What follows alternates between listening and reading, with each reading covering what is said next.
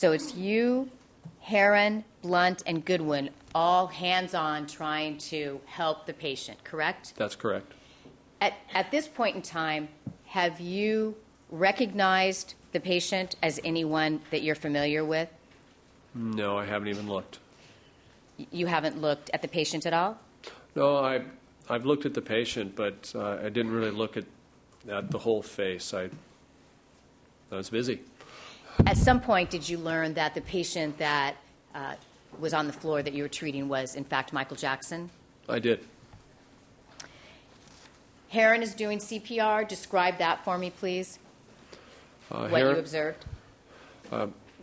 Standard, he's a, he's a big, strong man. He leaned over and started doing chest compressions immediately, One hand or two handed? two handed. When the EKG machine is connected and taking a reading, what information would be conveyed through that EKG machine? The EKG machine shows the uh, electrical uh, activity of the heart. Would that mean whether there's a heartbeat or not?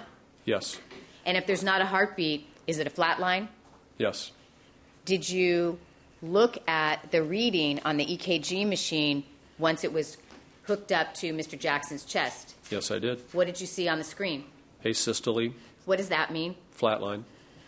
At the point when you administered one round of starter drugs and reported back to base station, was there any change in Mr. Jackson's condition from your time of arrival until you update UCLA with his condition? No change at all.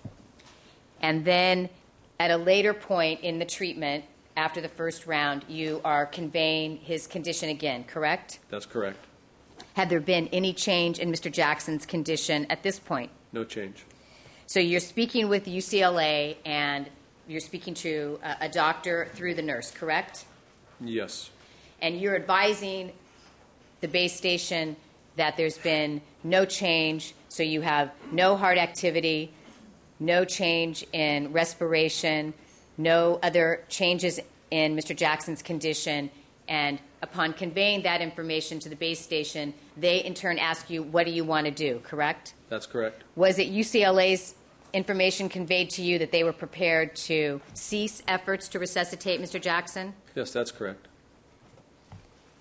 And the reason for cessation of efforts would be that essentially Mr. Jackson was dead. Is that correct? That's correct. I told my crew to continue ventilations to stop CPR. And continued ventilations means that the assistance of breath from Mr. Jackson would continue, but the compressions, the up and down motion on Mr. Jackson's chest would cease, correct? That's correct. And what was your determination once those requests or orders were followed?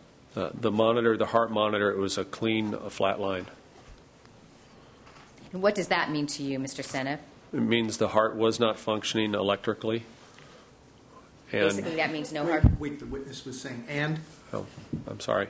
Okay. Um, that means it was not functioning electrically, so I didn't feel that there could be a pulse. I then checked for a pulse myself, and also one of the other firefighters checked for a pulse. What were the results of your checking for a pulse? I did not feel one at all. Did you uh, attempt to feel the pulse in the same area of the femoral area that Dr. Murray claimed he felt a pulse? Yes, I did. And did you say that another individual of your rescue team also attempted to verify that Mr. Jackson had a pulse? Yes, that's true. Who was that? I believe it was uh, uh, paramedic Blount. And did you receive any affirmative or positive information from any other member of your team that they felt a pulse? No, they did not.